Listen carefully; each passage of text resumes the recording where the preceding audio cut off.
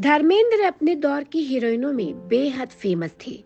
उनके फ्लर्ट करने की आदत और उनकी दिलकशी के किस्से कई हीरोइनें आज भी सुनाती हैं। लेकिन एक शादीशुदा हीरोइन से धर्मेंद्र की नजदीकियों के बाद निर्देशक पति ने कुछ अलग ही किया।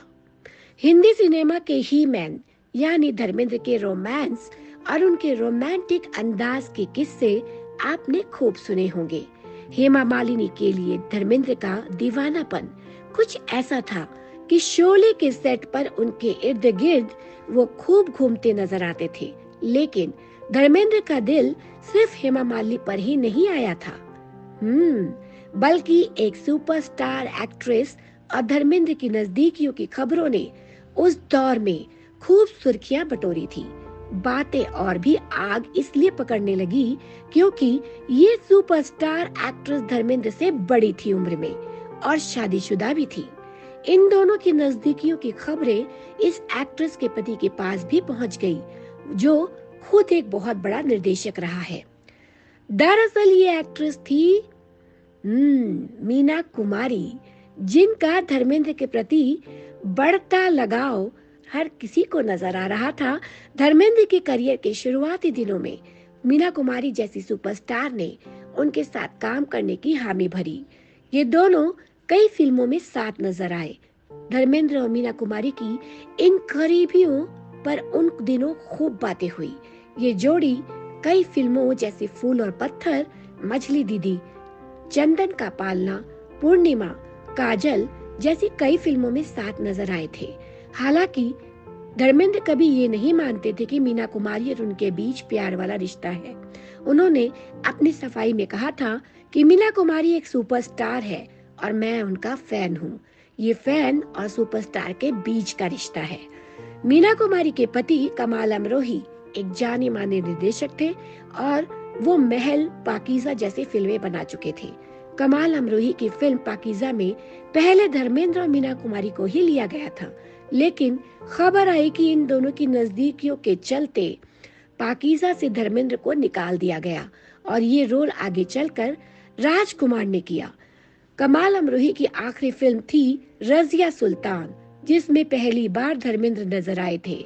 इस फ़िल्म में हेमा मालिनी लीड रोल में थी। जब अमरोही ने धर्मेंद्र को अपनी फ़िल्म में लिया तो चारों तरफ़ हंगामा मच गया। हर कोई हैरान था कि आखिर अमरोही ने मीना कुमारी और धर्मेंद्र की नजदीकियों के बाद भी उसे इस फ़िल्म में क्यों चुना? हालाँकि इस फ़िल्म में हेमा मालिनी को लीड रोल दिया गया था और उनके पति धर्मेंद्र को उनका गुलाम बनाया गया।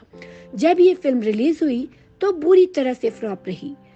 उन्नीस सौ तिरासी में रिलीज़ हुई इस फ़िल्म को बनने में पूरे सात साल लगे थे।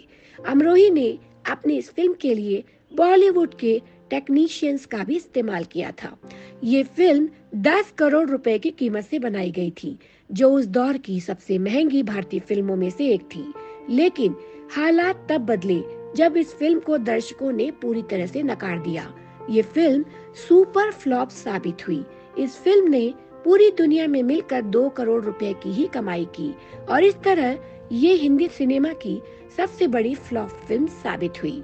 रजिया सुल्तान में धर्मेंद्र को एक अफ्रीकी गुलाम बनाया गया था। पूरी फ़िल्म में हिंदी फ़िल्म का ये हैंडसम हंक मुँह काला किए नज़र आया।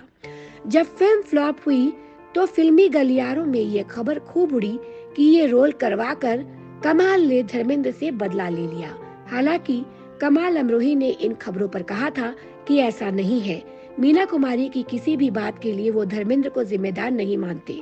साथ ही उन्होंने धर्मेंद्र को इस रोल के लिए इसलिए चुना क्योंकि उनकी उर्दू किसी भी दूसरे एक्टर से काफ़ी अच्छी थी, जो इस फ़िल्म के लिए ज़रूरी थी। कमाल अमरोही की फ़िल्म रजिया सुल्तान उस दौर में भले ही एक बड़ी फ्लॉप फ़िल्म साबित हुई, लेकिन आज इस फ़िल्म को एक क्लासिक फ़िल्म के तौर पर याद किया जाता है।